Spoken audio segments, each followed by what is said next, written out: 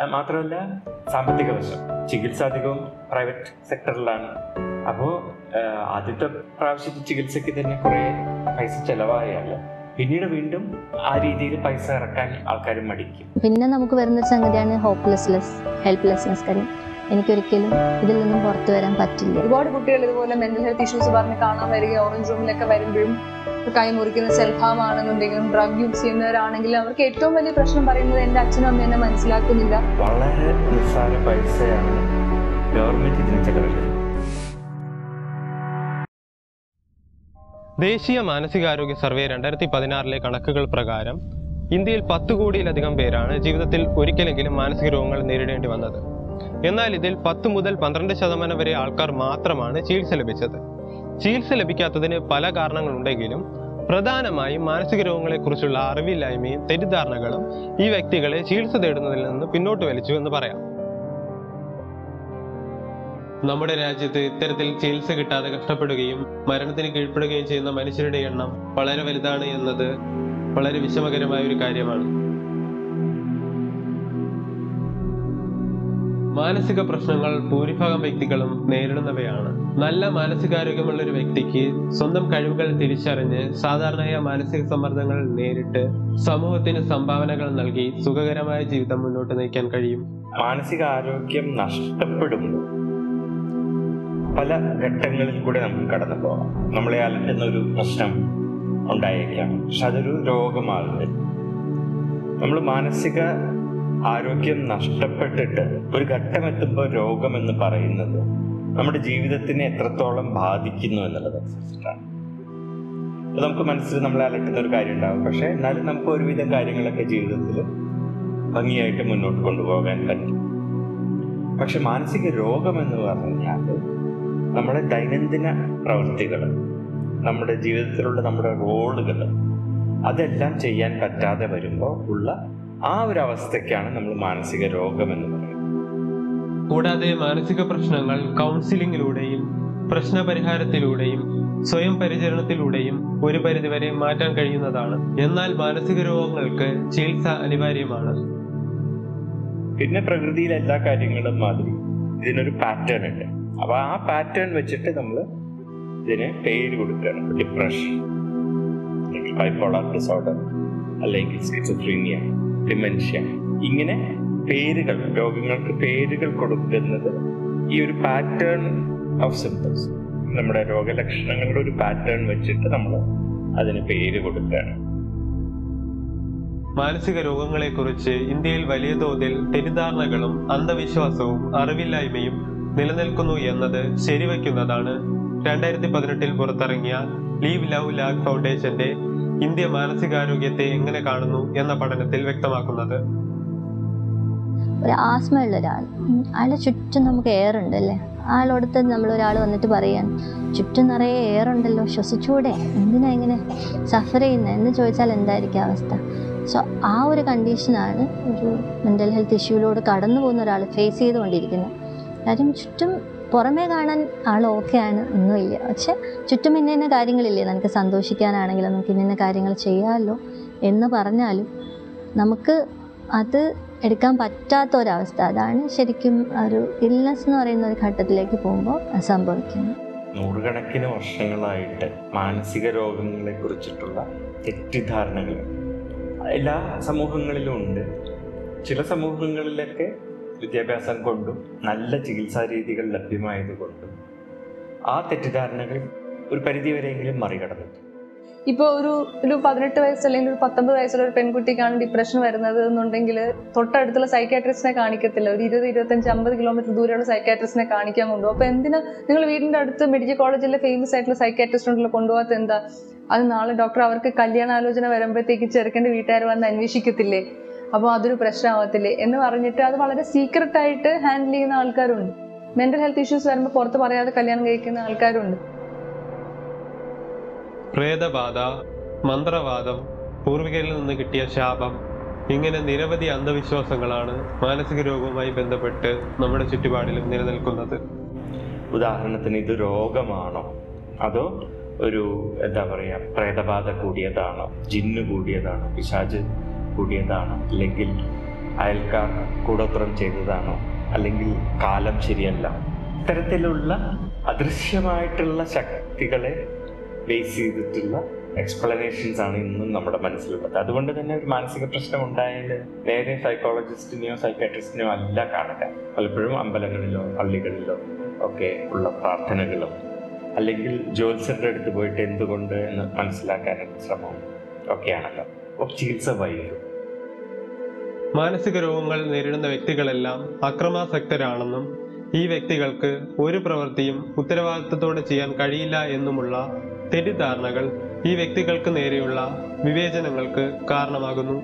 Mental ഹെൽത്തിനെ പറ്റി മൂവീസിലൂടെ ഭയങ്കര negative ആയിട്ടുള്ള ഒരു ഇമേജ് ആണ്. ഇപ്പം തനിയാവർത്തനത്തിലൊക്കെ മമ്മൂട്ടിക്ക് സ്കിസോഫേനിയാണ് അപ്പൊ ചങ്ങലയൊക്കെ ഇട്ട ഇമേജ് ആണ് കാണിക്കുന്നത് അങ്ങനെ ഒരുപാട് ഈ താളവട്ടം ഇങ്ങനത്തെ മൂവീസിലെല്ലാം മെന്റൽ ഹെൽത്തിനെ വളരെ നെഗറ്റീവ് ആൻഡ് ഡേഞ്ചറസ് ആയിട്ടാണ് ഡെപിക്ട് ചെയ്തേക്കുന്നത് അപ്പൊ നമുക്കൊരു മെന്റൽ ഹെൽത്ത് ഇഷ്യൂ ഉണ്ടെന്ന് ആലോചിക്കുമ്പോൾ തന്നെ ചെവിയിൽ പൂ വെച്ച് ചെമ്പരത്തി പൂ വെച്ച് ഓടി നടക്കുന്ന ഒരു ഫണി ക്യാരക്ടർ ആയിട്ട് ഇല്ലെങ്കിൽ ഭയങ്കര വയലന്റ് ആയിട്ടുള്ള മൂവി ക്യാരക്ടേഴ്സ് ആയിട്ടാണ് നമ്മൾ കാണുന്നത്. നമ്മളിൽ തന്നെ സാധാരണ വ്യക്തികളിൽ പനി വരുന്നത് പോലെ വരുന്ന ഡിപ്രഷൻ പോലുള്ള കാര്യങ്ങൾ ആ ലെവലിൽ കാണാതെ എക്സ്ട്രീമൈസ് ചെയ്ത് ചെയ്യുന്നതിൽ മീഡിയക്ക് വീണ്ടും അഗെയിൻ ഒരു നെഗറ്റീവ് റോൾ ഉണ്ട്. അത് മാത്രമല്ല സാമ്പത്തിക വശം. ചികിത്സാധികവും പ്രൈവറ്റ് സെക്ടറിലാണ് അപ്പോൾ ആദ്യത്തെ പ്രാവശ്യത്തെ ചികിത്സയ്ക്ക് തന്നെ കുറേ പൈസ ചിലവായാൽ പിന്നീട് വീണ്ടും ആ രീതിയിൽ പൈസ ഇറക്കാൻ ആൾക്കാർ മടിക്കും. ആ കുഴപ്പമൊന്നുമില്ല. മരുന്ന് നിർത്താം എന്നാണ് സാധാരണ എല്ലാവരും വിചാരിക്കുക. അപ്പോൾ എന്തുണ്ടാവും? ഒരു എപ്പിസോഡ് വരും ചികിത്സിക്കും ചികിത്സ നിൽക്കും വീണ്ടും വരും വീണ്ടും ചികിത്സിക്കും നിൽക്കും. കുറച്ച് കഴിഞ്ഞാൽ രോഗവും ഒരു ക്രോണിക് രോഗമായി മാറും. ചികിത്സിക്കാനുള്ള താല്പര്യവും കുറയും. കാരണം ചികിത്സിച്ചിട്ട് കാര്യമില്ല എന്നാണ് ആൾക്കാർ വിചാരിക്കുക. മറിച്ച് മാനസിക രോഗങ്ങൾ ഇപ്പോൾ ഡയബറ്റിസ് ഹൈപ്പർ ടെൻഷൻ മാതിരി തുടർ രോഗങ്ങളാണ്. തുടർ ചികിത്സ ആവശ്യമുള്ള രോഗങ്ങളാണ് എന്ന് നമ്മൾക്ക് വിശ്വസിക്കാൻ പറ്റുന്നില്ല. ഇതെല്ലാം കൂടി വരുമ്പോൾ ആണ് ഈ ചികിത്സ അപര്യാപ്തമാകുന്നത്. ശരിക്കും പറഞ്ഞാൽ നമുക്കൊരു കയ്യിൽ പൊട്ടലോ മുറിവോ ഉണ്ടെങ്കിൽ നമുക്ക് ആരെങ്കിലും കാണിക്കാം. ഓക്കെ ഇവിടെ മുറിഞ്ഞിരിക്കുന്നുണ്ട് പക്ഷേ ഈ ഒരു സമയത്ത് എനിക്കെന്താണ് സംഭവിക്കുന്നതെന്ന് എനിക്ക് പറയാനായിട്ട് പറ്റുന്ന ഒരു ഇതായിരുന്നില്ല. എനിക്കെന്തോ സംതിങ് ഈസ് നോട്ട് റൈറ്റ് എന്ന് തോന്നിയിരുന്നെങ്കിലും അത് എന്താണെന്ന് എനിക്ക് വാക്കുകളിലൂടെ പറയാൻ പറ്റുന്നൊരു എന്തു പറയാൻ അതൊരു ലിമിറ്റേഷൻ ആയിരുന്നു. ഇപ്പോൾ ഒരു നമുക്ക് ഫിസിക്കലി നമുക്കൊരു കാര്യം കാണിക്കുന്ന പോലെയോ ഒന്നും കാണിക്കാൻ പറ്റിയിരുന്നില്ല എന്നുള്ളതാണ് എനിക്ക് ഏറ്റവും വലിയ ചലഞ്ചായിട്ട് ഫേസ് ചെയ്തിരുന്നത്. അതായത് എന്തിനാണ് സങ്കടം തോന്നുന്നത്? എന്നാരെങ്കിലും എന്നോട് ചോദിക്കുകയാണെങ്കിൽ അവർ ഹെൽപ്പ് ചെയ്യാൻ വേണ്ടിയിട്ടാണ് ചോദിക്കുന്നത്. എന്തിനാണ് സങ്കടം തോന്നുന്നത്? ഞങ്ങൾ എങ്ങനെയാണ് ഹെൽപ്പ് ചെയ്യേണ്ടതെന്ന് ചോദിച്ചാലും അതിന് എന്ത് മറുപടി കൊടുക്കണം എന്നുള്ളത് അറിയില്ല. എന്തോ എനിക്ക് എന്തോ ഒരു ഇതുണ്ട്. എനിക്ക് പറ്റുന്നില്ല. ഫീലിംഗ് ബ്ലാങ്ക് എന്നാണ് പറയുന്നത്. സാഡ്നെസ് എന്നുള്ളതിനേക്കാളും കൂടുതലായിട്ട് ഫീലിംഗ് ബ്ലാങ്ക് അല്ലെങ്കിൽ ഫീലിംഗ് ഡെഡ് ഇൻസൈഡ് എന്നൊക്കെ ഉള്ളൊരു ഫീലിംഗ് തന്നെയായിരുന്നു. അതാണ് ശരിക്കുള്ള ഫീലിംഗ് ആയിട്ട് പറയുന്നത്. പിന്നീടാണ്. കുറേ നാൾ കഴിഞ്ഞിട്ടുള്ള ഒരു ഘട്ടമാണ് ഒരു ഘട്ടം. കാര്യം പിന്നെ നമുക്ക് വരുന്നൊരു സംഗതിയാണ് ഹോപ്പ്ലെസ്നെസ് ഹെൽപ്ലെസ്നെസ് കാര്യം എനിക്കൊരിക്കലും ഇതിൽ നിന്നും പുറത്തു വരാൻ പറ്റില്ല. അല്ലെങ്കിൽ ഇത് കഴിഞ്ഞിട്ട് ഒന്നുമില്ല. ജീവിതത്തിൽ ഇനി ഫ്രണ്ടിലേക്ക് നോക്കാനായിട്ട് ഒന്നുമില്ല എന്നുള്ള ഒരു ശൂന്യതയിലേക്ക് നോക്കി നിൽക്കുന്ന ഒരു അവസ്ഥ തന്നെയാണ്. സോ ആ ആ ഒരു ഫീലിംഗ് ഓഫ് നമ്പ്നെസ് എന്നൊക്കെ പറയുന്നത് ഒരു അവസ്ഥ ആദ്യമായിട്ടാണ് ഞാൻ അങ്ങനെ ഒരു രീതിയിലോട്ട് ഫേസ് ചെയ്തത്. പക്ഷെ അത് മറ്റുള്ളവരുടെ അടുത്ത് കമ്മ്യൂണിക്കേറ്റ് ചെയ്യാനുള്ള ഒരു സംഗതി അതുപോലെ അവർക്ക് സഹായിക്കണമെന്നുണ്ടെങ്കിലും അവർക്കും അറിയില്ല എന്താ ചെയ്യേണ്ടതെന്നുള്ള ഒരു സമയം ആരോട് ഹെൽപ്പ് ചോദിക്കണം അല്ലെങ്കിൽ എന്ത് രീതിയിലുള്ള ഹെൽപ്പാണ് എടുക്കേണ്ടതെന്നുള്ള ഒരു സംഗതി അവിടെ ഒരു ബാരിയറായിട്ട് ആക്ച്വലി ഉണ്ടായിരുന്നു. അതാ ഞാൻ പറഞ്ഞത് ആ മൊത്തം മാനസിക രോഗങ്ങളെ കുറിച്ചിട്ടുള്ള മനസ്സിലാക്കൽ ഇത് രോഗമാണ്. ഈ പറഞ്ഞ എല്ലാ കാര്യങ്ങളും വയലൻസ് ഇതിന്റെ ഒരു ഭാഗമല്ല എന്നുള്ളത്.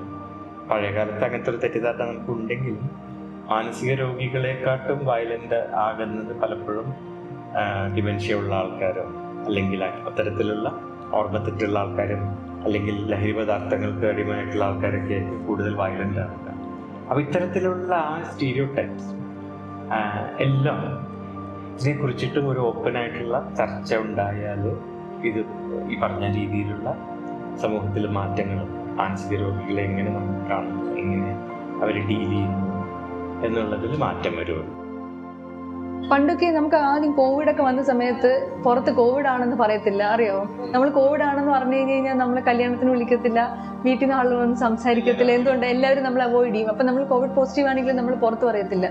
സെയിം തന്നെയാണ്. അപ്പം ഇതുപോലെ ഡിപ്രഷൻ ആണെന്നുണ്ടെങ്കിലും നമ്മൾ ആളുകൾ അവോയ്ഡ് ചെയ്യും ജഡ്ജ് ചെയ്യും. നമ്മളെ പിന്നെ കാണുമ്പോഴത്തേക്ക് ആ ഇങ്ങനെയാണ് എന്നൊക്കെ ആളുകൾ വിചാരിക്കും എന്നുള്ളത് കൊണ്ടാണ് മോസ്റ്റ്ലി ആളുകൾ പറയാത്തത് നമ്മളിപ്പം നമുക്ക് മെന്റൽ ഹെൽത്ത് ഇഷ്യൂസ് ഉണ്ട് ഡിപ്രഷൻ വന്നിട്ടുണ്ട് ബട്ട് ഇറ്റ്സ് ഓക്കെ എന്ന് ഓപ്പൺ ആയിട്ട് സംസാരിച്ചാൽ മാറാവുന്ന ഒരു ഇതാണ്. ഇപ്പൊ ഒരുപാട് പണ്ടത്തെങ്ങൾ ഒരുപാട് മാറ്റം വന്നിട്ടുണ്ട്. അപ്പം hopefully in next couple of years അത് മാറുമായിരിക്കും. മാനസിക രോഗം വരുന്നത് കഴിവില്ലായ്മയാണെന്നും ചികിത്സ തേടുന്നത് നാണക്കേടുണ്ടാക്കുന്ന കാര്യമാണെന്നുമുള്ള തെറ്റിദ്ധാരണകൾ ഇപ്പോഴും നമ്മുടെ ചുറ്റുപാടും നിലനിൽക്കുന്നു. സ്റ്റാർട്ടിംഗ് വിത്ത് ഇത് രോഗമാണ്. ഒരു വ്യക്തിയും വേണമെന്ന് വെച്ചിട്ട് അല്ലെങ്കിൽ അവരുടെ ഒരു പരാജയം കൊണ്ട് ഡിപ്രസ്ഡ് ആവുന്നതല്ല. മറ്റു രോഗങ്ങളെ മാതിരിയുള്ള രോഗമാണ്. മറ്റു രോഗികൾക്ക് കൊടുക്കുന്ന അതേ കാര്യം നമ്മൾ ചെയ്യണം. അതായത് കെയർ കമ്പാഷൻ അനുകമ്പ. അപ്പോൾ മറ്റേത് രോഗിക്കും കിട്ടുന്ന കാര്യങ്ങൾ ഈ രോഗാവസ്ഥകൾക്കും കിട്ടണം. അതിനാദ്യം ഇത് രോഗാവസ്ഥയാണെന്നുള്ള തിരിച്ചറിവുണ്ടാവും കൂടാതെ ശാരീരിക രോഗം പോലെ മാനസിക രോഗവും രോഗം വരുന്ന വ്യക്തിക്ക് രോഗം വരുന്നതിൽ വലിയ നിയന്ത്രണമൊന്നും ഉണ്ടാവില്ല. എന്ന കാര്യം നമ്മൾ മനസ്സിലാക്കേണ്ടിയിരിക്കുന്നു. ഞാൻ പഠിച്ചതും വളർന്നതെല്ലാം വേറെ കംപ്ലീറ്റ്ലി ഡിഫറെന്റ് ആയിട്ടുള്ള ബാക്ക്ഗ്രൗണ്ട് ആണ്. ഞാൻ പഠിച്ചതൊക്കെ എഞ്ചിനീയറിംഗ് ആണ്. ഞാൻ എന്നിട്ട് കുറച്ച് വർഷം എഞ്ചിനീയർ ആയിട്ടൊക്കെ വർക്ക് ചെയ്ത് ഇടയ്ക്ക് ഡിപ്രഷനൊക്കെ വരികയും അത്രയും ഹാപ്പിനെസ് ഒന്നും കിട്ടാതിരിക്കുകയും ചെയ്തൊരു സമയത്ത് എന്താണ് എന്റെ പ്രശ്നം എന്ന് മനസ്സിലാക്കുകയും അതിനെ എങ്ങനെ റെമഡിയൊക്കെ കണ്ടെത്താം എന്ന് അന്വേഷിച്ചൊരു യാത്രയൊക്കെ പോയി. അങ്ങനെ കുറേ മെഡിറ്റേഷനും യോഗയും മരുന്നും ഒക്കെ കഴിച്ച് ഡിപ്രഷനിൽ നിന്ന് പുറത്ത് വന്നായിരുന്നു. ആ പുറത്ത് വന്ന ശേഷം എനിക്ക് തോന്നി ഈ ഇൻഫർമേഷൻ എന്നെ പോലെ വേറെ പ്രശ്നങ്ങൾ അനുഭവിക്കുന്ന ആൾക്കാർക്ക് യൂസ് ചെയ്യാലോ അവർക്ക് വേണ്ടി എന്തെങ്കിലും ചെയ്യാലോ എന്ന് വിചാരിച്ചിരിക്കുന്ന സമയത്ത് ഞാൻ എം എസ് ഡബ്ല്യു ചെയ്തായിരുന്നു മാസ്റ്റേഴ്സ് ഇൻ സോഷ്യൽ വർക്ക് അത് ചെയ്യുന്നതിന്റെ ഭാഗമായിട്ട് ഇവിടെ ട്രിവാൻഡ്രം മെന്റൽ ഹെൽത്ത് സെന്ററിലെ ഉളമ്പറ അവിടെ കുറച്ച് ഇന്റേൺഷിപ്പ് ചെയ്തിട്ടുണ്ടായിരുന്നു. അപ്പോൾ അവിടെ ചെന്നപ്പോഴാണ് അവിടെ അങ്ങനത്തെ ഏതെങ്കിലും ഒരു ഓർഗനൈസേഷനിൽ നിന്നുകൊണ്ട് ചേഞ്ച് ചെയ്യാമെന്നാണ് ആദ്യം വിചാരിച്ചത്. അപ്പം അവിടെ നിന്നപ്പോഴാണ് അങ്ങനത്തെ ഒരു ഓർഗനൈസേഷൻ ചെയ്യാവുന്ന കാര്യവും എന്നാൽ അതിൽ നിന്ന് കിട്ടാത്ത ആ ഒരു ഡിഫറൻസ് ഉണ്ടല്ലോ. അതായത് ആ ഇൻസ്റ്റിറ്റ്യൂഷൻസിൽ നിന്ന് കിട്ടാത്ത എന്നാൽ ഇങ്ങനത്തെ പ്രശ്നങ്ങൾ നേരിടുന്ന ആളുകൾക്ക് വേണ്ട ആ ആ ഡെൽറ്റ ആ ഗ്യാപ്പ് നികത്താനായിട്ട് എന്ത് ചെയ്യാൻ പറ്റും എന്ന് വിചാരിച്ചതിന്റെ ഭാഗമായിട്ടാണ് ലെറ്റ്സ് ലിവ് എന്ന ഓർഗനൈസേഷൻ തുടങ്ങിയത്. അപ്പോൾ ഞാൻ ഇവിടെ കാന്താരി എന്ന് പറയുന്ന ഒരു ഓർഗനൈസേഷൻ ഉണ്ട് ട്രിവാൻഡ്രത്ത്. അവിടെ നിന്നാണ് എങ്ങനെയാണ് ഒരു സോഷ്യൽ ചേഞ്ച് അല്ലെങ്കിൽ എൻ ജി ഒ തുടങ്ങാം എന്നുള്ളതൊക്കെ പഠിക്കുന്നത്. അപ്പോൾ ഞാൻ ഒരു വർഷത്തെ കോഴ്സ് അവിടെ നിന്ന് ചെയ്ത് ആ സമയത്താണ് ലെറ്റ്സ് ലിവിന്റെ കോൺസെപ്റ്റ് വരികയും പ്രോജക്റ്റിനെ പറ്റി ചിന്തിക്കുകയും അവിടെ നിന്ന് ഇറങ്ങി ടു തൗസൻഡ് എയ്റ്റീൻ ബിഗിനിങ്ങിലാണ് ലെറ്റ്സ് ലിവ് സ്റ്റാർട്ട് ചെയ്തത്. ഒരു നാലഞ്ച് വർഷം മുമ്പാണ് എനിക്ക് രണ്ടാമത്തെ കുഞ്ഞുണ്ടായി കഴിഞ്ഞ സമയത്ത് ഒരു ഡിപ്രഷൻ ഫേസ് ഉണ്ടായിരുന്നു. പോസ്റ്റ് പാർട്ടം ഡിപ്രഷൻ ആയിരുന്നു. സോ അത് പറയാന്നുണ്ടെങ്കിൽ ഒരു സാധാരണ രീതിയിൽ എല്ലാ അമ്മമാർക്കും പ്രസവം കഴിയുമ്പോഴത്തേനും ഒരു രണ്ടാഴ്ച വരെയും ഒരു ബേബി ബ്ലൂസ് എന്ന് പറയുന്നൊരു കാര്യം വരാറുണ്ട്. അതായത് നമ്മൾ ആ ഉറക്കത്തിന്റെ ഒരു വ്യത്യാസം അല്ലെങ്കിൽ നമുക്ക് ബോഡിയിൽ ഉണ്ടാകുന്ന ചേഞ്ചസ് കാരണം ഒരു കൈൻഡ് ഓഫ് മൂഡ് സ്വിങ്സ് വരാറുണ്ട്. അതൊരു കോമൺ ആയിട്ടുള്ള ഒരു അവസ്ഥ തന്നെയാണ്. പക്ഷെ അതും കഴിഞ്ഞിട്ട് നമ്മുടെ എന്താണ് പല രീതിയിലുള്ള ചേഞ്ചസ് നമുക്ക് ബോഡിയിലാണെങ്കിലും നമുക്ക് എന്താണ് നമ്മുടെ സ്വഭാവത്തിലും നമ്മുടെ ഒരു ബയോളജിക്കൽ റിതം തന്നെ മാറുന്ന രീതിയിലോട്ടൊക്കെ വന്നു തുടങ്ങിയിരുന്നു. അപ്പോൾ മെയിൻലി ഉറക്കം കുറയുന്ന പിന്നെ ആദ്യമൊക്കെ സങ്കടകരമായ ഒരു ചെറിയ അവസ്ഥ അങ്ങനെയൊക്കെ ആയിരുന്നു തുടക്കത്തിലുണ്ടായിരുന്നു പിന്നെ പിന്നെ പതുക്കെ പതുക്കെ നമ്മൾ സൈക്കോളജിക്കലി പറയുകയാണെങ്കിൽ ആൻഹിഡോണിയ എന്ന് പറയുന്ന ഒരു അവസ്ഥയുണ്ട്. അതായത് നമ്മുടെ ചുറ്റും നമുക്ക് സന്തോഷം ഉണ്ടാകുന്ന കാര്യങ്ങളൊക്കെ നടക്കുന്നുണ്ടെങ്കിലും അതൊന്നും നമുക്ക് അനുഭവിക്കാൻ പറ്റാത്ത അല്ലെങ്കിൽ നമുക്കൊന്നും മനസ്സിലാക്കാനോ അല്ലെങ്കിൽ നമ്മുടെ ഉള്ളിലേക്ക് അത് എടുക്കാൻ പറ്റാത്തൊരവസ്ഥ നമുക്ക് പറയാൻ പറ്റും. പിന്നെ നമ്മൾ ചെയ്യാൻ ഇഷ്ടപ്പെട്ട് ചെയ്തിരുന്ന പല കാര്യങ്ങളും ഉണ്ടാവുമല്ലോ. അതായത് ഇപ്പോൾ വായിക്കുക എഴുതുക ഇല്ലെങ്കിൽ മൂവിക്കോ അതൊക്കെ ഓരോരുത്തർക്ക് ഓരോ ഇഷ്ടമുണ്ടാവും അങ്ങനെ നമ്മൾ ഇഷ്ടപ്പെട്ട് ചെയ്തിരുന്ന പല ഹോബീസും ചെയ്യാതാവുക അല്ലെങ്കിൽ ചെയ്യാൻ ശ്രമിച്ചാൽ തന്നെയും അതിൽ നിന്നും ഒരു സന്തോഷം കിട്ടാതാവുക. പിന്നെ പതുക്കെ പതുക്കെ ഒരു എന്താ പറയുക സൊസൈറ്റിയിൽ നിന്ന് തന്നെ അല്ലെങ്കിൽ ഫാമിലി മെമ്പേഴ്സിൽ നിന്ന് തന്നെ ഒന്ന് മാറുന്ന ഒരവസ്ഥയിലോട്ടൊക്കെ വന്നു തുടങ്ങിയിരുന്നു. പിന്നെ പ്രശ്നങ്ങൾക്ക് പരിഹാരത്തിനായി മുന്നോട്ട് വരുന്ന ആൾക്കാർ കൂടിയിട്ടുണ്ട്. പ്രത്യേകിച്ച് യുവതലമുറയിലൊക്കെ കുറെ കൂടെ ഇതിനെ കുറിച്ചിട്ട് എനിക്കൊരു പ്രശ്നമുണ്ട് എന്ന് അക്സെപ്റ്റ് ചെയ്യാനും സഹായം തേടാനും ഒക്കെ എനിക്ക് തോന്നുന്നത് കൂടുതൽ ഇപ്പോൾ ഈ കാലഘട്ടത്തിൽ കുട്ടികളും ആൾക്കാരൊക്കെ മുന്നോട്ട് വരുന്നുണ്ട് എന്നുള്ളതാണ്. പിന്നെ അത് എങ്ങനെ എന്ത് ചെയ്യണം എന്നുള്ള രീതിയിൽ ഡോക്ടേഴ്സിനെയൊക്കെ കണ്ടിരുന്നു. അപ്പോൾ ആ സമയത്ത് നമ്മൾ ഡോക്ടേഴ്സിനെ കണ്ടപ്പോഴൊന്നും അവർ ബ്ലഡ് ടെസ്റ്റ് ചെയ്ത് നോക്കുക അങ്ങനെ പല രീതിയിൽ നോക്കിയിട്ടും അതിലൊന്നും വേറെ കുഴപ്പങ്ങളൊന്നും കണ്ടെത്താനായിട്ട് കഴിഞ്ഞില്ല. പിന്നെയാണ് അതൊരു സൈക്കോളജിക്കൽ ഇഷ്യൂ ആയിട്ട് മനസ്സിലായിട്ട് ഹെൽപ്പ് എടുക്കുന്നതൊക്കെ ആയിട്ട് വന്നത്. പക്ഷേ ആ സമയത്തിനിടയിൽ തന്നെ ഒരുപാട് ലൈഫിൽ നമ്മൾ എന്ത് പറയാനാ ഈ പറയുന്ന ഒരു അവസ്ഥയിലേക്ക് എത്തപ്പെടും എത്തപ്പെട്ടിരുന്നു.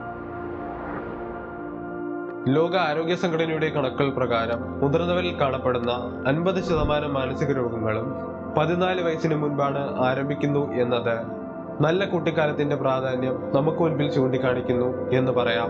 കാരണം കുട്ടികളിൽ മാനസിക രോഗങ്ങളെക്കാട്ടും അധികം മാനസിക പ്രശ്നം.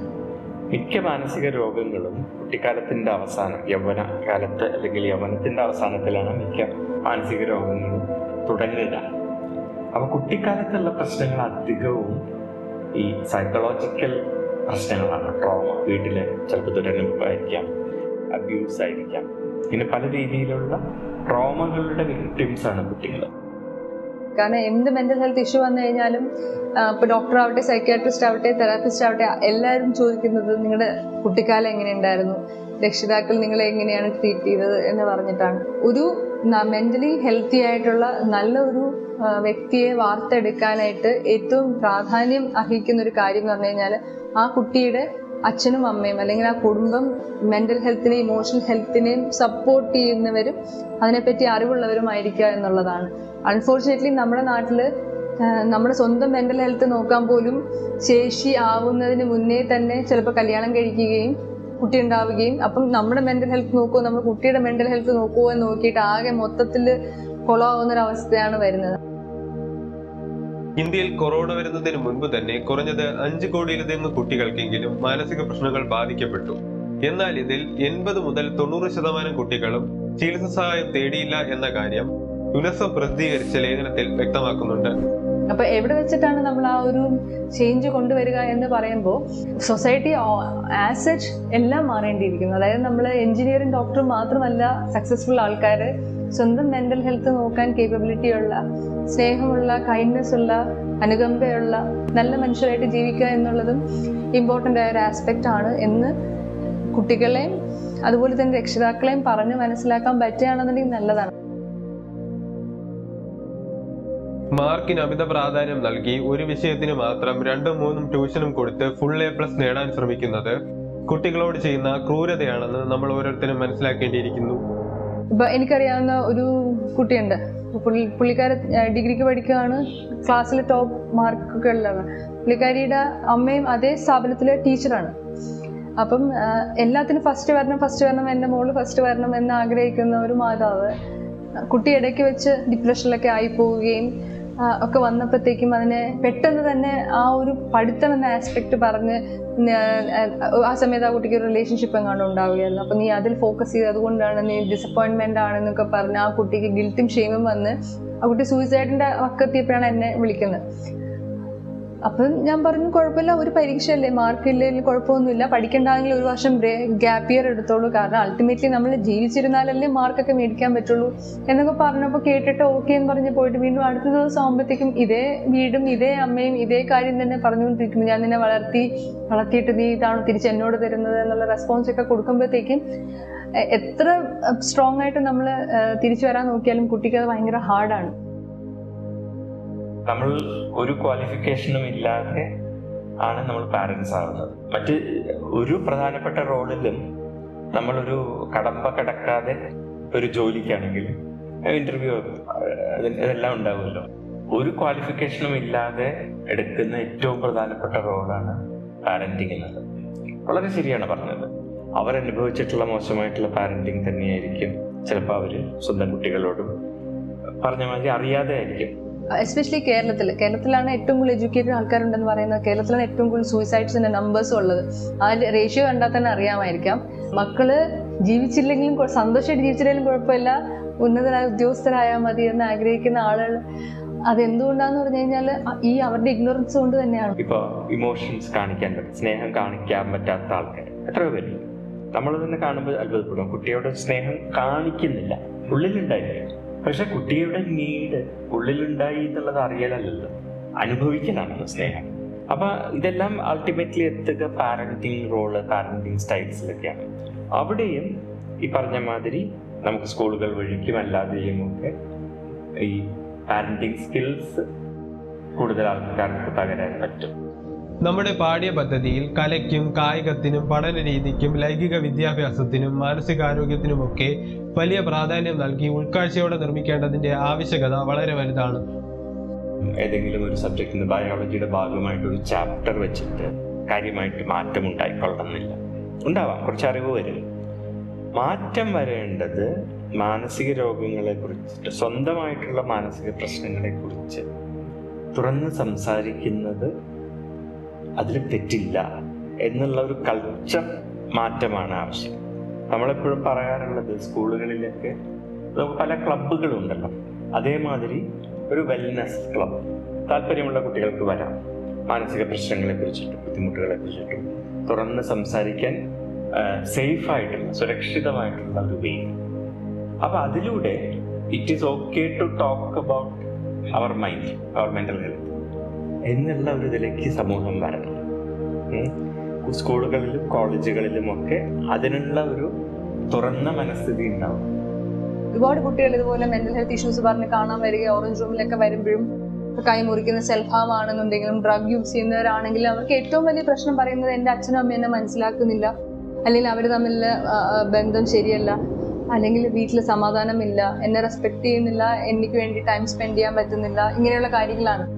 അവരെ കുറ്റം പറഞ്ഞിട്ട് കാര്യമില്ല. കാരണം അവർ നോക്കുമ്പം ഭക്ഷണം കൊടുക്കുക നല്ല സ്കൂളിൽ പഠിപ്പിക്കുക എന്നതിന് ഉപരി ഒരു കുട്ടിയെ വളർത്തുന്നതിൽ പ്രത്യേകിച്ച് അവർക്കൊന്നും കോൺട്രിബ്യൂട്ട് ചെയ്യാനില്ല. പക്ഷെ ആ കുട്ടിയുടെ വൈകാരിക വളർച്ച ഒരു പ്രശ്നം വരുമ്പോൾ അതെങ്ങനെ സോൾവ് ചെയ്യാന്ന് പറഞ്ഞു കൊടുക്കുക ഫ്രണ്ട്സിനെ ഉണ്ടാക്കുമ്പോൾ എന്തൊക്കെ വാല്യൂസ് ആണ് വേണ്ടത് ഇതൊക്കെ നമ്മൾ പഠിക്കുന്നത് വീട്ടിൽ നിന്ന് കണ്ട് വീട്ടിൽ നിന്ന് പറഞ്ഞു തരുന്നത് വെച്ചിട്ടാണ്. അപ്പൊ ആ ഒരു ലെവൽ ഓഫ് എഡ്യൂക്കേഷൻ കൊടുക്കാനുള്ള പ്രാപ്തി പേരൻസിന് വേണമെന്നുണ്ടെങ്കിൽ ആ പേരൻസ് തന്നെ കുട്ടിയായിരിക്കുമ്പോൾ അത് കിട്ടണം. സ്കൂളുകളിലെ സെക്സ് എഡ്യൂക്കേഷൻ ഇന്നും ഒരു കൺഫ്യൂഷനാണ് ആൺകുട്ടികളും പെൺകുട്ടികളും ഒരുമിച്ച് ഒരേ ബെഞ്ചിലിരിക്കുന്നത് പ്രശ്നമാണ്. ഒരുമിച്ച് ബസ് സ്റ്റോപ്പിലിരുന്ന് സംസാരിക്കുന്നത് പ്രശ്നമാണ്. അപ്പൊ ആ ആറ്റിറ്റ്യൂഡ്സ് ഒക്കെ തന്നെയാണ് ഇതിനെ സപ്രസ് ചെയ്യുന്നത്. പ്രത്യേകിച്ച് ചെറിയ കുട്ടികളാകുമ്പോൾ ഒരു അബ്യൂസ് നടന്നാൽ അവരുടെ യാതൊരു ഫോൾട്ടും അതിൽ ഒബ്വിയസ്ലി ഉണ്ടാവില്ലല്ലോ. എന്നാലും അവർക്ക് കുറ്റബോധം. പ്രത്യേകിച്ച് ഒരു അമ്മാവനോ വീട്ടിലെ ബന്ധുവോ ആരെങ്കിലും ആണെങ്കിൽ അത് പാരൻസിനോട് തുറന്ന് പറയാനും സ്കൂളുകളിൽ തുറന്ന് പറയാനും ഒക്കെയുള്ള മടി വളരെ കൂടുതലാണ്. വർഷങ്ങളോളം ഈ ഡാമേജ് നടന്നുകൊണ്ടിരിക്കുന്നു. ഞങ്ങൾ കാണുന്നതാണ്. പിന്നെ ഒരു ഘട്ടം എത്തുമ്പോഴാണ് കുട്ടികൾക്ക് തുറന്നു പറയാനൊക്കെയുള്ള ഒരു ധൈര്യവും സാഹചര്യവും ഒത്തുവരിക. അതിനുശേഷം ഓഫ് കോഴ്സ് നിയമം കാര്യങ്ങളൊക്കെ ഏറ്റെടുത്തോളും. വളരെ ഇഫക്റ്റീവ് ആയിട്ടുള്ള നമുക്ക് ചൈൽഡ് പ്രൊട്ടക്ഷൻ ടീമുകൾ ലീഗൽ കാര്യങ്ങളൊക്കെ വളരെ ഇഫക്റ്റീവ് ആയിട്ടുണ്ട്. പക്ഷെ അവിടെ എത്തണ്ടേ? കുട്ടി തുറന്നു പറഞ്ഞാലല്ലേ ലോകം അറിയുള്ളൂ. അപ്പൊ അതിനാണ് സെക്സ് എഡ്യൂക്കേഷന്റെ ഒരു ഭാഗം. സെക്സ് എഡ്യൂക്കേഷൻ എന്ന് വെച്ചാൽ പ്രത്യുൽപാദനം എങ്ങനെ നടക്കുന്നു എന്നുള്ളത് പഠിപ്പിക്കലല്ല. ബന്ധങ്ങളും. ഇപ്പോൾ വളരെ കോമൺ ആയിട്ട് ഗുഡ് ടച്ച് ബാഡ് ടച്ച് എന്താണെന്ന് പഠിപ്പിക്കൽ ഇത് ഇങ്ങനൊരു പ്രശ്നം നേരിട്ടാൽ തുറന്നു പറയാനുള്ള അവസരങ്ങൾ. പിന്നെയുള്ള വലിയ ഒരു മേഖല അബ്യൂസ് തടയുക എന്നതാണ്. എന്റെ അഭിപ്രായത്തിൽ അതാണ് ഏറ്റവും വലിയ മേഖല ഞാൻ പോയ ജനറൽ മെഡിസിൻ പല ഡോക്ടേഴ്സ് ഉണ്ട്. അവരൊക്കെ നല്ല ഡോക്ടേഴ്സൊക്കെ തന്നെയാണ്. പക്ഷെ അവിടെ ഒരു സൈക്കോളജിക്കൽ എലമെന്റ് ഉള്ളതായിട്ട് പലരും കണ്ടുപിടിച്ചില്ലായിരുന്നു. കാര്യം അവരെല്ലാവരും എന്റെ ഈ ഫിസിക്കലി വരുന്ന ബോഡിയിൽ വരുന്ന ഉറക്കമില്ലായ്മ പല രീതിയിലുള്ള തലവേദന ബോഡി ഏക്സ് കാര്യങ്ങളൊക്കെ വന്നപ്പോഴത്തേനും അവർ ബ്ലഡ് ടെസ്റ്റ് അതാണ് ചെയ്യുന്നത്. പക്ഷെ ആ ബ്ലഡ് ടെസ്റ്റിലും കാര്യങ്ങളിലൊന്നും എല്ലാം ഓക്കെ ആയിട്ടും എല്ലാം കണ്ടപ്പോഴും എന്നാൽ അവർ ഒരു സൈക്കോളജിക്കൽ ഹെൽപ്പ് അവിടെ തേടണമെന്ന് ആരും മെൻഷൻ ചെയ്ത് കണ്ടില്ലായിരുന്നു. കൂടുതലും.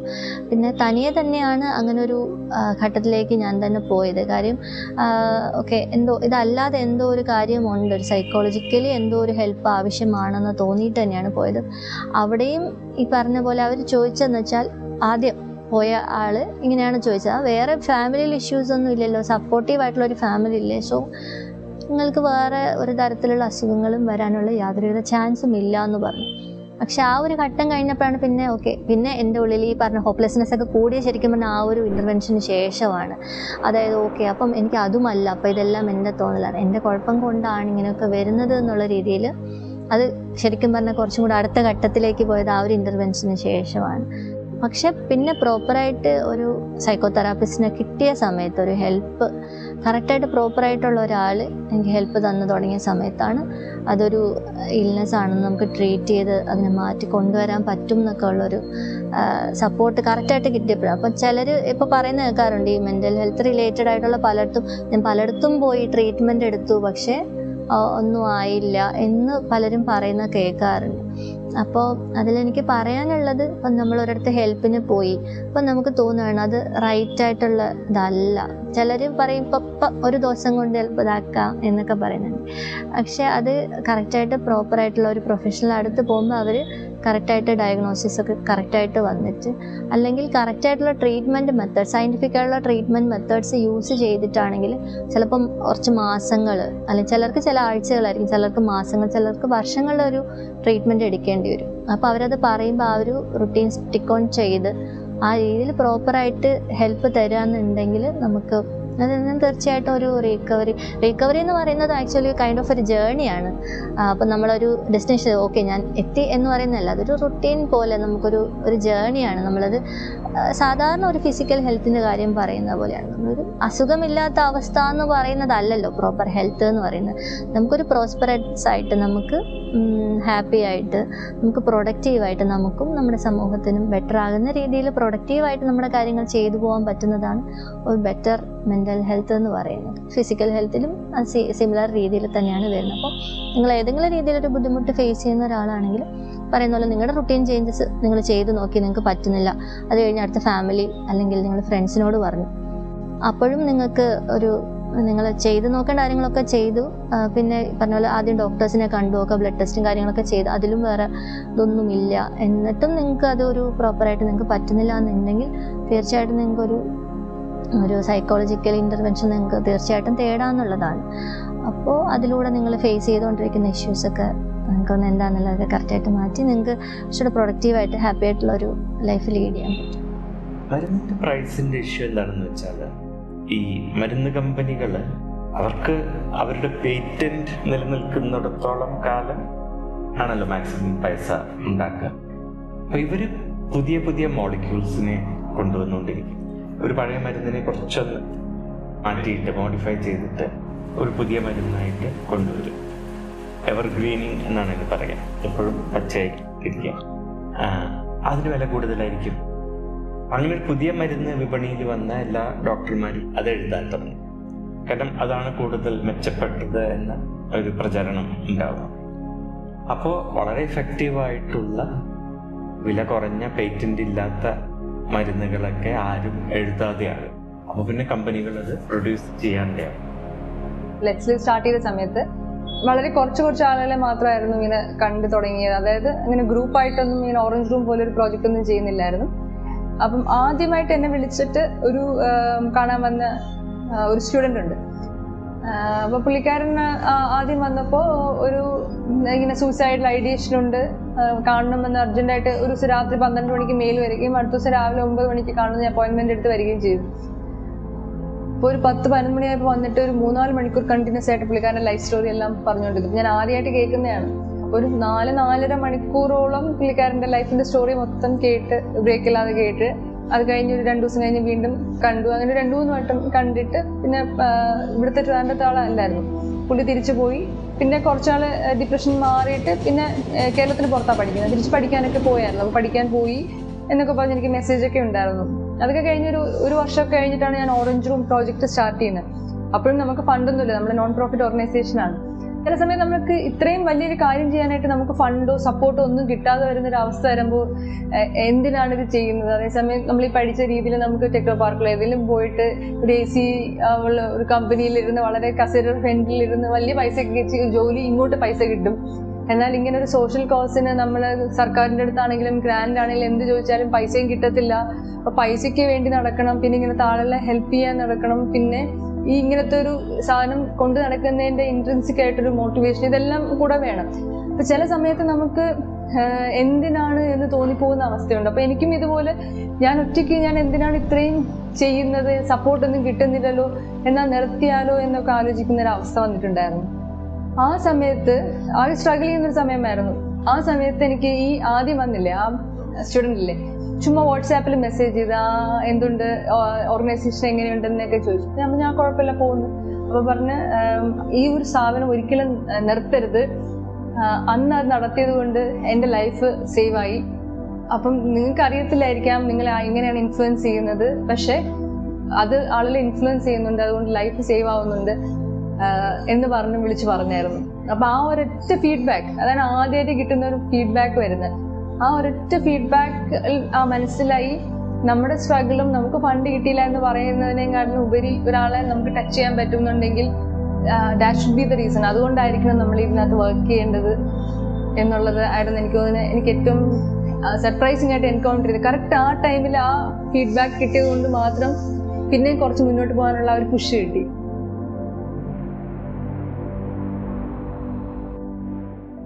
മാനസിക രോഗ ചികിത്സാ സേവനങ്ങൾ നമ്മുടെ രാജ്യത്ത് എല്ലായിടത്തും ലഭ്യമായിട്ടില്ല എന്ന് രണ്ടായിരത്തി പതിനാറിൽ പുറത്തിറങ്ങിയ ട്രെയിനിങ് മാനുവൽ ഫോർ സൈക്കോളജിസ്റ്റ് എന്ന പുസ്തകത്തിൽ വ്യക്തമാക്കുന്നുണ്ട്. നമ്മൾ ഏറ്റവും പ്രധാനപ്പെട്ടത് മാനസികാരോഗ്യമാണ് പറയുമെങ്കിൽ വളരെ നിസ്സാര പൈസയാണ് ഗവൺമെന്റ് ഇതിന് ചെലവഴിക്കുന്നത്. അപ്പോൾ മറ്റ് ഡോക്ടർമാരുടെ എണ്ണവും ബാക്കിയെല്ലാം കൂടുമെങ്കിൽ ഇതെല്ലാം അഫോർഡ് ചെയ്യാൻ പറ്റുന്ന ഒരു സമൂഹത്തിന്റെ സ്ട്രാറ്റജി മാത്രം അവൈലബിൾ ആണ് ബാക്കിയുള്ള എല്ലാവരും സാമ്പത്തിക ബുദ്ധിമുട്ട് കൊണ്ട് നല്ല മാനസികാരോഗ്യ അവർക്ക് കിട്ടില്ല. ഇത് പറയുമ്പോൾ എനിക്ക് ചെറിയൊരു കാര്യം കൂടെ മെൻഷൻ ചെയ്യണം. ഒരു മെന്റൽ ഹെൽത്ത് കണ്ടിന്യൂം മോഡൽ അതായത് നമ്മളൊരു സ്കെയിൽ എടുക്കുകയാണെങ്കിൽ അത് സീറോ ടു തേർട്ടി ഉള്ളൊരു സ്കെയിലാണ് അതായത് നമ്മൾ ഡെയിലി നമ്മുടെ റുട്ടീൻ കാര്യങ്ങൾ നമ്മൾ ചെയ്യേണ്ട കാര്യങ്ങൾ നമുക്ക് ഉത്സാഹത്തോടെ ചെയ്യാൻ പറ്റുന്ന ഒരു ഘട്ടം. വേറെ ഹെൽപ്പൊന്നും വേണ്ട. നമുക്ക് തന്നെ മാനേജ് ചെയ്യാൻ പറ്റുന്ന ഒരു ഘട്ടമാണ് രണ്ടാമത്തെ ഘട്ടം വരുമ്പം നമുക്ക് ചെറിയ രീതിയിൽ സ്ട്രെസ്സും ലൈഫിൽ കുറച്ച് സ്ട്രഗിൾസ് ഒക്കെ വരുന്നുണ്ട്. ആ ഘട്ടത്തിൽ നമുക്ക് തനിയെ ഹാൻഡിൽ ചെയ്യാൻ പറ്റുന്നില്ല. ആ സമയത്ത് എന്ത് ചെയ്യും? നമ്മൾ ഏറ്റവും ക്ലോസ് ആയിട്ടുള്ള കുറച്ച് ഫ്രണ്ട്സിനോട് ഷെയർ ചെയ്യും. ആ സമയത്ത് അവരുടെ ഒരു സപ്പോർട്ട് കൂടെ നമുക്ക് എന്ത് ചെയ്യാൻ പറ്റും? അതിൽ തരണം ചെയ്ത് ആ ഫസ്റ്റ് ഘട്ടം അതായത് ഹെൽത്തി ആയിട്ടുള്ള ഒരു ഇതിലോട്ട് പോകാൻ പറ്റും. ഈ ഘട്ടത്തിൽ നമുക്ക് ഈ സെക്കൻഡ് ഘട്ടത്തിൽ നമുക്ക് വേണമെന്നുള്ള രീതിയിൽ ഹെൽപ്പ് കിട്ടുന്നില്ല. അല്ലെങ്കിൽ പ്രോപ്പറായിട്ട് ഇപ്പോൾ ഈ പറഞ്ഞ പോലെ ഒരു ഫ്രണ്ടിനോട് ഞാൻ ഷെയർ ചെയ്തു. പക്ഷേ ആൾ പറയുകയാണ് അതിലൊന്നും വലിയ കാര്യമില്ല എന്ന് പറയുകയാണ് അല്ലെങ്കിൽ ഞാൻ തന്നെ ഈ പറഞ്ഞ ഫിസിക്കൽ ചില ഡോക്ടേഴ്സിനെ കാണാൻ പോയിരുന്നു. അവരൊക്കെ പറഞ്ഞതെന്ന് വെച്ചാൽ വീട്ടിൽ എന്തെങ്കിലും ഇഷ്യൂസ് ഉണ്ടോ? എന്ന് ചോദിക്കുക അതായത് ഹസ്ബൻഡ് മദ്യപാനം ഉണ്ടോ? അല്ലെങ്കിൽ എന്തെങ്കിലും അമ്മായിയമ്മ പോരോ? അല്ലെങ്കിൽ സ്ത്രീധന പീഡനം അങ്ങനെ എന്തെങ്കിലും ലീഗൽ ഇഷ്യൂസ് ഒക്കെ ഉണ്ടോ എന്ന് ചോദിക്കുമ്പോൾ അവർ ഞാൻ പറയുന്നത് ഇല്ല അങ്ങനെ ഒരു പ്രോബ്ലം ഒന്നും ഇല്ല. ഈവൻ ഫ്രണ്ട്സ് ആണെങ്കിലും അങ്ങനെ ചോദിക്കുന്നത് അപ്പോൾ അങ്ങനെ ഒന്നും ഇല്ല. എന്ന് പറയുമ്പോൾ അവരൊന്ന് എന്നാൽ പിന്നെ നിനക്കൊരു കുഴപ്പമില്ല. ബാക്കിയൊക്കെ നിന്റെ തോന്നലാണ്. എന്ന് പറയുന്ന ഒരു ഘട്ടം കഴിയുമ്പോഴാണ് നമ്മൾ അടുത്ത മൂന്നാമത്തെ ഘട്ടത്തിലോട്ട് പോകുന്നത്. അതായത് നമുക്കൊരു ഒരു പ്രൊഫഷണലിന്റെ ഹെൽപ്പ് സ്വീകരിക്കേണ്ട ഒരു ഘട്ടമാണ് ആ മൂന്നാമത്തെ ഘട്ടം എന്ന് പറയുന്നത്.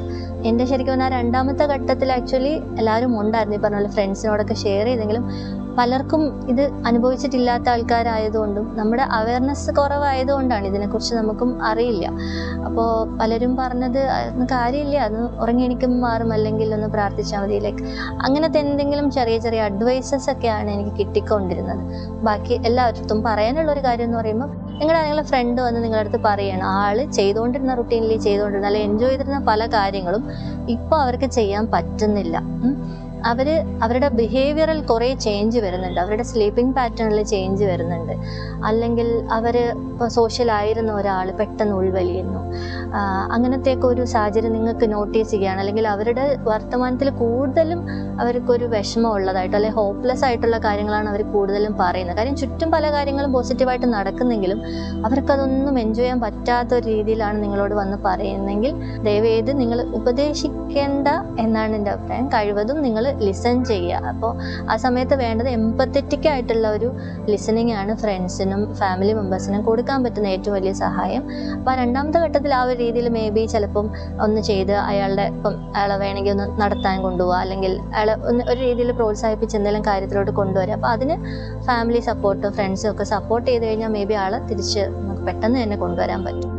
അല്ലാത്ത ഒരു ഘട്ടത്തിൽ ഇപ്പം അങ്ങനെ ഒരു ഹെൽപ്പ് നിങ്ങൾക്ക് കിട്ടിയില്ല എന്നുണ്ടെങ്കിലാണ് അടുത്ത് കുറച്ചും കൂടെ അടുത്ത ഘട്ടത്തിലേക്ക് പോകുന്നത് നമുക്ക് എത്രയും പെട്ടെന്ന് തന്നെ ഇങ്ങനെ ഒരു ലക്ഷണങ്ങൾ കാണുകയാണെങ്കിൽ നിങ്ങൾ എത്രയും പെട്ടെന്ന് തന്നെ ഒരു പ്രൊഫഷണൽ അതായത് രണ്ടാഴ്ചയിൽ കൂടുതലായിട്ടും ഈ ലക്ഷണങ്ങൾ കുറയാണ്ട് ഇങ്ങനെ കൂടി കൂടി വരാമെന്നുണ്ടെങ്കിൽ തീർച്ചയായിട്ടും ഒരു ക്ലിനിക്കൽ സൈക്കോളജിസ്റ്റിന്റെ ഹെൽപ്പ് നിങ്ങൾക്ക് തേടാവുന്നതാണ്. ഓക്കെ അതും കഴിഞ്ഞ്. പിന്നും കുറച്ചും കൂടെ അവരുടെ ലൈഫൊക്കെ ഒത്തിരി അങ്ങ് ബാധിച്ചിട്ടുണ്ടെങ്കിൽ ചിലപ്പോൾ ഒരു മെഡിക്കൽ ഒരു ചിലപ്പോൾ ഒരു മെഡിക്കേഷൻ അതായത് ഒരു മെഡിസിന്റെ ഹെൽപ്പും കൂടെ വേണ്ടി വരും. അതായത് ഉറക്കം ആ സ്ലീപ്പിംഗ് പാറ്റേൺസും ബയോളജിക്കലി ഉള്ള കാര്യങ്ങളൊക്കെ ഒന്ന് ശരിയാക്കാൻ വേണ്ടിയിട്ട് അതും സപ്പോർട്ട് കൂടെ ചിലപ്പോൾ മെഡിസിന്റെ സപ്പോർട്ടും പ്ലസ് സൈക്കോതെറാപ്പി ഇത് രണ്ടിന്റെയും കൂടെ ഹെൽപ്പോടുകൂടെ എനിക്ക് ആ രീതിയിലാണ് ഹെൽപ്പ് കറക്റ്റായിട്ട് കിട്ടിയത് കൊണ്ടാണ് എനിക്ക് ആ ഒരു ഇത് വന്നത്. അപ്പോൾ എല്ലാവരോടും പറയാനുള്ള വെച്ചാൽ ഒരാൾ ഒറ്റയ്ക്ക് ഫേസ് ചെയ്യുന്നതിനേക്കാളും ഒരു ഫാമിലി അല്ലെങ്കിൽ ഒരു ഫ്രണ്ട്സിന്റെ ഒരു സപ്പോർട്ട് കൂടിയാണെങ്കിൽ ആൾ പെട്ടെന്ന് തിരിച്ചുകൊണ്ട് വരാൻ പറ്റും. മൂന്ന് ചികിത്സയെ കുറിച്ചിട്ടുള്ള സങ്കല്പം. നമുക്ക് ചികിത്സയെ കുറിച്ച് ഒരു സങ്കല്പമാണ് ഒരു ചികിത്സ കഴിഞ്ഞാൽ പൂർണമായിട്ടും ഈ രോഗം മാറണം. പിന്നീട് വരാൻ പാടില്ല. പ്രത്യേകിച്ച് മാനസിക രോഗം. അപ്പം ഒരു പ്രാവശ്യം ചികിത്സ എടുത്തിട്ട് നല്ല ഫലമുണ്ടായില്ലേ? കുറച്ച് മാസങ്ങൾ കഴിഞ്ഞാൽ ഈ പല രോഗങ്ങളുടെയും നേച്ചർ തന്നെയാണ് വീണ്ടും വന്നേക്കാം. അല്ലെങ്കിൽ തുടർ രോഗങ്ങളായി. എപ്പോൾ മരുന്ന് നിർത്തുന്നു അപ്പോൾ വീണ്ടും രോഗലക്ഷണങ്ങൾ വരും. നമ്മൾ കാണുന്നത് ചികിത്സയുടെ പരാജയമാണ്. കാരണം ഇപ്പോൾ ഉള്ള ചികിത്സ നിങ്ങൾ എന്റെ അടുത്ത് വരുന്നു ഞാൻ മരുന്നുകൾ എഴുതി തരുന്നു. പിന്നെ വരുന്നോ ഇല്ലയോ എന്നുള്ളത് എന്റെ പ്രശ്നമല്ല. നിങ്ങൾ വന്നാൽ ഞാൻ ചികിത്സ. അതായത് തുടർ ചികിത്സയ്ക്ക് ഒരു കൃത്യമായിട്ടുള്ള സംവിധാനമില്ല. ചികിത്സ നേടുന്നതിൽ മുടക്കം വരുന്നതും പുനരധിവാസം കൃത്യമായി നടക്കാത്തതും മാനസിക രോഗ ചികിത്സാ രംഗത്തെ വലിയൊരു വെല്ലുവിളിയായി തന്നെ തുടരുന്നു എന്ന് പറയാം. മരുന്ന് ചികിത്സ കഴിഞ്ഞാലുള്ള പുനരധിവാസം റീഹാബിലിറ്റേഷൻ കാരണം മിക്ക രോഗങ്ങളും ഇപ്പൊ നമ്മൾ പറയുന്നില്ല കോവിഡ് വന്നു പോയിട്ടുള്ളവർക്ക് പിന്നീട് ക്ഷീണവും മറ്റ് രോഗങ്ങളും കൂടുതലാണ് എന്ന്. അതേമാതിരി തന്നെയാണ് മാനസിക രോഗം.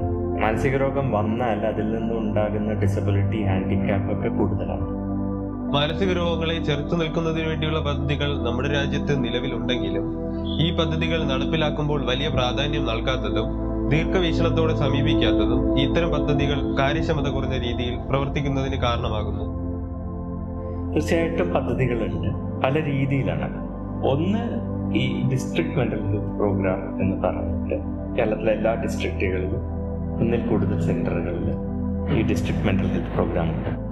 അപ്പോൾ മാസത്തിൽ ഒരു തവണ ഒരു നോഡൽ സെന്ററിൽ നിന്ന് ഡോക്ടർമാർ മരുന്നുമൊക്കെയായിട്ട് വന്നിട്ട് രോഗികളെ അതാത് സ്ഥലങ്ങളിൽ വെച്ചിട്ട് കാണുന്ന കമ്മ്യൂണിറ്റി സൈക്കാട്രി അതായത് രോഗികൾക്ക് ദൂരസ്ഥലം പോണ്ട. അവിടുന്ന് തന്നെ മരുന്ന് ലഭ്യമാണ്.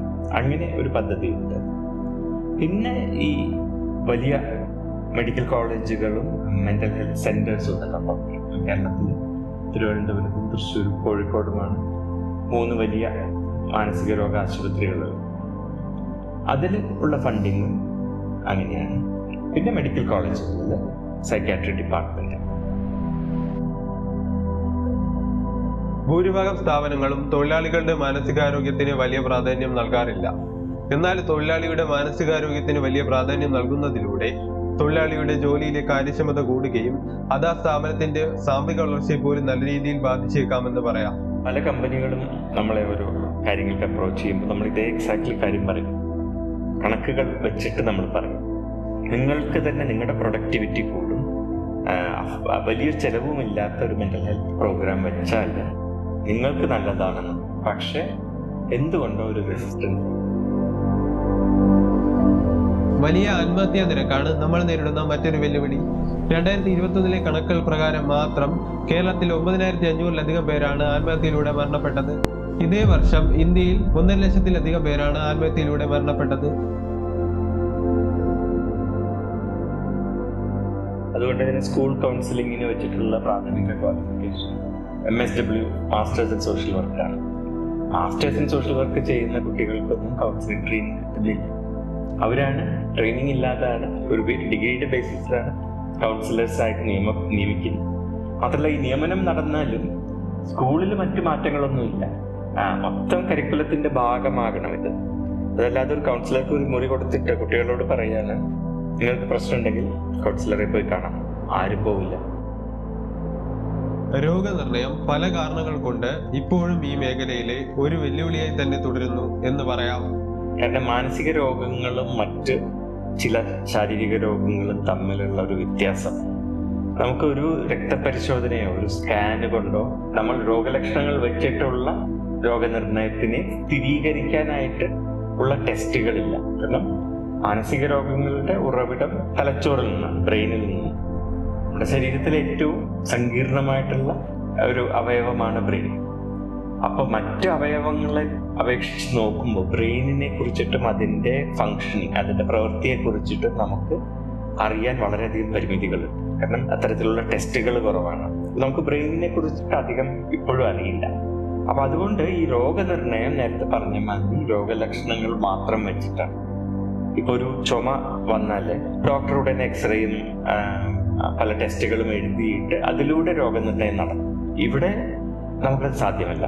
അപ്പോൾ ഈ രോഗലക്ഷണങ്ങളുടെ ആ പാറ്റേൺ വെച്ചിട്ട് മാത്രമാണ് നമ്മൾ രോഗനിർണയം നടത്തുന്നത്. അതുകൊണ്ട് തന്നെ പലപ്പോഴും രണ്ട് സൈക്കാട്രിസ്റ്റുമാർ തമ്മിൽ അഭിപ്രായ വ്യത്യാസം ഉണ്ടായിരുന്നു. വേറൊരു പ്രശ്നം ഈ രോഗനിർണയത്തിന് സമയം വേണം. ഒരു വ്യക്തിയുടെ പ്രശ്നങ്ങൾ മുഴുവൻ ചോദിച്ചറിഞ്ഞ് മനസ്സിലാക്കി. ആ വ്യക്തിയുടെ ചരിത്രവും എല്ലാം പഠിച്ചതിന് ശേഷമാണ് നമ്മൾ രോഗനിർണയത്തിലെത്തുക. അത് വളരെ പെട്ടെന്ന് അഞ്ചു മിനിറ്റും പത്ത് മിനിറ്റും ഒക്കെയാണ് ഒരു ഡോക്ടർക്ക് തിരക്കുള്ള ഒരു ഡോക്ടർക്ക് സമയം കിട്ടുന്നുണ്ടെങ്കിൽ അവിടെയും പാളിച്ചകളുണ്ടാകും ഒരു സാധാരണ ഇപ്പം നമുക്കൊരു പനി വന്നു അല്ലെങ്കിൽ ഒരു ഐ സിയുലൊക്കെ പോകുന്ന ആൾക്കാരാണെങ്കിൽ പോലും നമുക്ക് അവിടെ ഒരു ഹോപ്പ് ഉണ്ടല്ലേ ഓക്കെ അയാൾ തിരിച്ചു വരും എന്നുള്ളൊരു ഒരു ഹോപ്പ് ഉണ്ട് അല്ലേ? അപ്പോൾ അതുപോലെ ഒരു ഇതൊരു ബയോളജിക്കൽ ആയിട്ടുള്ള ഒരു കാര്യമാണെന്ന് നിങ്ങൾ മനസ്സിലാക്കിയാൽ തന്നെ ഏകദേശം അവിടെ ഹോപ്പ് ഉണ്ട് എന്നുള്ളൊരു കാര്യം നിങ്ങൾക്ക് മനസ്സിലാക്കാൻ പറ്റും. അതായത് ഒരു ഫിസിക്കൽ ഇൽനെസ് എങ്ങനെ ട്രീറ്റ് ചെയ്ത് മാറ്റാൻ പറ്റും? അല്ലെങ്കിൽ നമുക്ക് അണ്ടർ കൺട്രോൾ ഇപ്പോൾ ഡയബറ്റീസ് ബി പി എന്നൊക്കെ പറയുന്ന പോലെ നമുക്ക് അണ്ടർ കൺട്രോൾ നമുക്ക് മെഡിസിന്റെ പ്രോപ്പർ റുട്ടീൻ ചേഞ്ചസിലൂടെയും അല്ലെങ്കിൽ അങ്ങനെ ഒരു സപ്പോർട്ടിലൂടെ നമുക്ക് ചേഞ്ച് ചെയ്ത് നമുക്കൊന്ന് മാനേജ് ചെയ്ത് കൊണ്ടുപോകാൻ പറ്റുന്ന പോലെ ഒരു കാര്യമാണിത് എന്നുള്ള ഒരു സംഗതി നിങ്ങൾ മനസ്സിലൊന്നും ആക്കി കഴിഞ്ഞാൽ തന്നെ ഏകദേശം അവിടെ ഹോപ്പുണ്ട്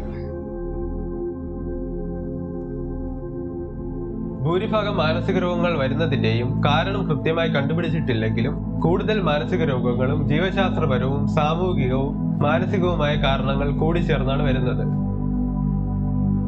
പ്രായപൂർത്തി ആയതിനു ശേഷം നമുക്ക് പിന്നെ തടയാനുള്ള ബുദ്ധിമുട്ടായിരിക്കും. കാരണം ഈ രോഗം വരാനുള്ള പലവിധ കാരണങ്ങളും ഒന്നിലോ ജനിതകമായിട്ട് ബയോളജിക്കലായിട്ട് അത് നമുക്ക് അറിയാൻ ചെയ്യാൻ പറ്റില്ല. ബാക്കിയുള്ളതെല്ലാം സൈക്കോളജിക്കൽ സോഷ്യൽ ഇതെല്ലാം നമ്മൾ ജനിക്കുമ്പോൾ തൊട്ടുള്ള ഇൻഫ്ലുവൻസ് ആണ് പിന്നീട് രോഗമായിട്ട് വരുന്നത്. അതെല്ലാം ജീവിത പ്രശ്നങ്ങളാണ്. ഇപ്പൊ നമുക്ക് ഒരു ഒരൊറ്റ കാര്യം ചെയ്യാൻ പറ്റുമെങ്കിൽ കുട്ടികളിലെ അബ്യൂസ് തടയുക.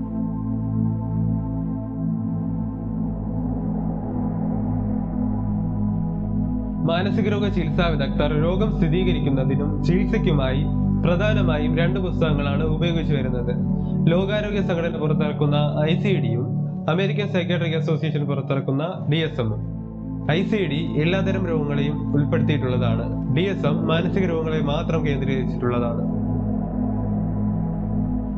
ഡി എസ് എമ്മിൽ രോഗങ്ങളെ പല വിഭാഗങ്ങളായി തരംതിരിച്ചിട്ടുണ്ട്. ഇതിൽ ഇന്ത്യയിൽ ഏറ്റവും കൂടുതൽ കണ്ടുവരുന്നത് ഡിപ്രഷൻ അഥവാ വിഷാദ രോഗവും ആൻസൈറ്റി അഥവാ ഉത്കണ്ഠ രോഗവുമാണ്.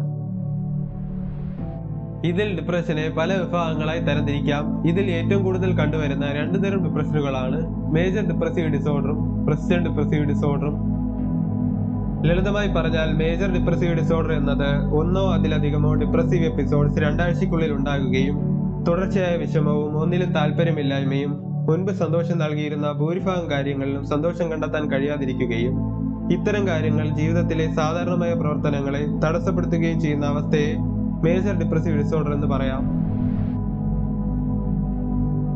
എന്നാൽ പ്രസിസ്റ്റന്റ് ഡിപ്രസീവ് ഡിസോർഡറിൽ കുറഞ്ഞത് രണ്ട് വർഷം ഭൂരിഭാഗം സമയവും ഡിപ്രസ്ഡ് ആയിട്ടുള്ള മൂഡ് പ്രകടമായി കാണും. എന്നാൽ മേജർ ഡിപ്രസീവ് ഡിസോർഡറെ സ്ഥിരീകരിക്കാനുള്ള എല്ലാ ലക്ഷണങ്ങളും പ്രകടമായി കാണില്ല.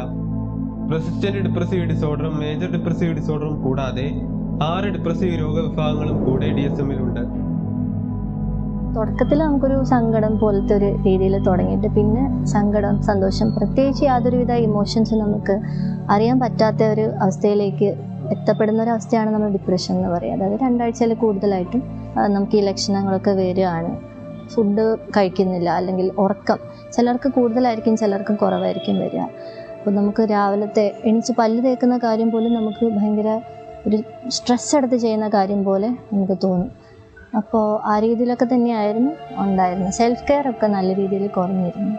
അപ്പോൾ നമ്മുടെ നമ്മൾ കൃത്യമായിട്ട് ചെയ്തുകൊണ്ടിരുന്ന പല കാര്യങ്ങളും ഇപ്പോൾ പല്ല് തയ്ക്കുക കുളിക്കുക പോലത്തെ കാര്യങ്ങളെല്ലാം എനിക്ക് നമ്മൾ സ്ട്രെയിൻ എടുത്ത് ചെയ്യുന്ന ഒരു ലെവലിലേക്ക് എത്തിയിരുന്നു കുറച്ച് നാൾ കഴിഞ്ഞ്. ആൻസൈറ്റി ഡിസോർഡേഴ്സ് അഥവാ ഉത്കണ്ഠ രോഗങ്ങൾ നിരവധിയുണ്ട്. ഇതിൽ ഏറ്റവും കൂടുതൽ കണ്ടുവരുന്ന രണ്ട് ആൻസൈറ്റി രോഗങ്ങളാണ് ജനറൽ ആൻസൈറ്റി ഡിസോർഡറും സോഷ്യൽ ആൻസൈറ്റി ഡിസോർഡറും ലളിതമായി പറഞ്ഞാൽ സ്ഥിരമായി അമിതമായി നിറയെ സംഭവത്തെക്കുറിച്ചോ പ്രവൃത്തിയെക്കുറിച്ചോ ഉത്കണ്ഠ ഉണ്ടാകുന്നതിനെ ജനറൽ ആൻസൈറ്റി ഡിസോർഡറായി കണക്കാക്കാം.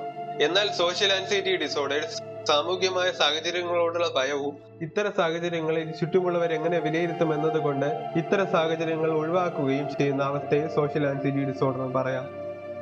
കൂടാതെ ഡിപ്രഷൻ ആൻസൈറ്റി രോഗവിഭാഗങ്ങൾ അല്ലാതെ മറ്റു പതിനെട്ട് തരം രോഗവിഭാഗങ്ങളും കൂടെ ഡി എസ് എം എന്ന മാനസിക രോഗ സ്ഥിരീകരണത്തിന് ഉപയോഗിക്കുന്ന പുസ്തകത്തിലുണ്ട്. നമ്മൾ ഈ പറയുന്ന പോലെ ഞാനിപ്പോൾ ഫോൺ എടുത്ത് ഗൂഗിൾ ചെയ്ത് ഇൻഫർമേഷന് വേണ്ടിയിട്ട് അല്ലെങ്കിൽ പഠിക്കാൻ വേണ്ടിയിട്ടാണ് എന്നുണ്ടെങ്കിൽ അത്രയും പ്രശ്നം വരത്തില്ല. പക്ഷെ ഞാൻ ഇപ്പം ഇൻസ്റ്റാഗ്രാം അങ്ങനെ അങ്ങനത്തെ അഡിക്ഷൻസും ആളുകളുടെ സ്റ്റേറ്റസ് ട്രാക്ക് ചെയ്യാൻ വാട്സാപ്പ് എടുത്ത് സ്റ്റേറ്റസ് നോക്കുക ഇൻസ്റ്റാഗ്രാം എടുത്ത് റീൽസ് നോക്കി ആളുകൾ എന്ത് ചെയ്യുന്നു നോക്കി പിന്നെ ഓരോ വട്ടവും കൈ അറിയാതെ പോകുന്ന രീതിയിൽ അഡിക്ഷൻസ് ഒക്കെ വന്ന് അങ്ങനെയുള്ള പിന്നെ ചിലപ്പം ഈ പറയുന്ന പോലെ സൈബർ ബുള്ളിങ് കുറെ കുറെ അങ്ങനത്തെ സോഷ്യൽ മീഡിയയിലുള്ള പ്രശ്നങ്ങളുണ്ടല്ലോ.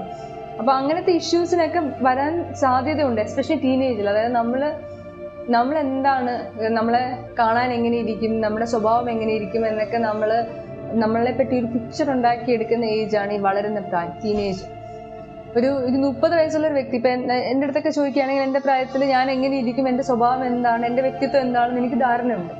ഇനി ഇനി ആര് സോഷ്യൽ മീഡിയയിൽ എന്ത് പറഞ്ഞാലും എന്നെ അത്രയും അത് എഫക്റ്റ് ചെയ്യത്തില്ല. പക്ഷെ എനിക്കൊരു പതിനഞ്ച് വയസ്സേ ഉള്ളൂ. ഞാൻ എന്റെ അപ്പിയറൻസ് എങ്ങനെയാണ് എന്റെ ബുദ്ധി എങ്ങനെയാണ് എന്നൊക്കെ എന്റെ ഫ്രണ്ട്സിന്റെയും ഫാമിലിയുടെയും ഫീഡ്ബാക്കിൽ നിന്ന് ഫോം ചെയ്യാൻ എടുക്കുന്ന ആ സമയത്തിൽ നെഗറ്റീവായിട്ടുള്ള സാധനങ്ങളിലോ അല്ലെങ്കിൽ വേറെ തരത്തിൽ എനിക്ക് മെസ്സേജ് ആ ഫീഡ്ബാക്ക് മൊബൈലിൽ നിന്ന് കിട്ടുകയാണെങ്കിൽ ഞാനൊരു ഒരു പോസിറ്റീവ് മെന്റൽ ഹെൽത്തുള്ള ഒരു വ്യക്തിയായി വളരണമെന്നില്ല.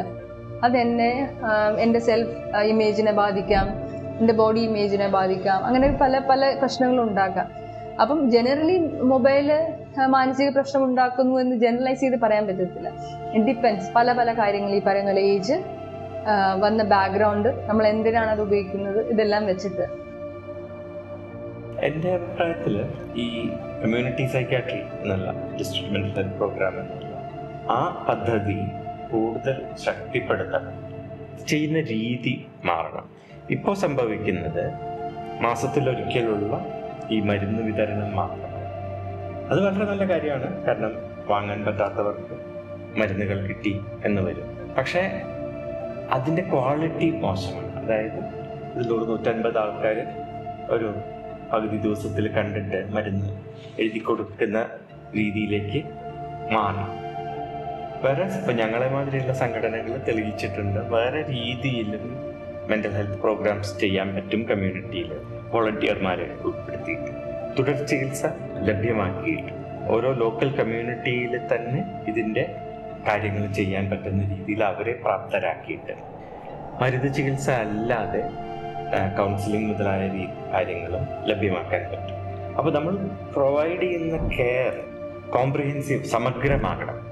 നമ്മുടെ ആ ഒരു ഇൽനെസ്സിലേക്ക് ചെല്ലുമ്പോൾ അത് തോന്നലല്ല ആക്ച്വലി നമുക്കൊരു ബിലീഫ് പോലെ ഒരു ഘട്ടം എത്തുമ്പം നമുക്ക് വരികയാണ്. അപ്പോൾ ഒരു ഹോപ്പ്ലെസ് അത്രയും അവസ്ഥയിൽ നിൽക്കുന്ന ഒരാ- ഒരാളിന് തോന്നുകയാണ്. എനിക്ക് ഒരിക്കലും തിരിച്ചു വരാൻ പറ്റത്തില്ല. ഞാൻ ഇങ്ങനെ തന്നെ എന്റെ ലൈഫ് ലോങ് അങ്ങനെ പോകുന്നുള്ള രീതിയിൽ എത്തുമ്പോഴാണ് പലരും സൂയിസൈഡ് എന്ന് പറയുന്ന ഒരു ഘട്ടത്തിലേക്കൊക്കെ പോകുന്നത്.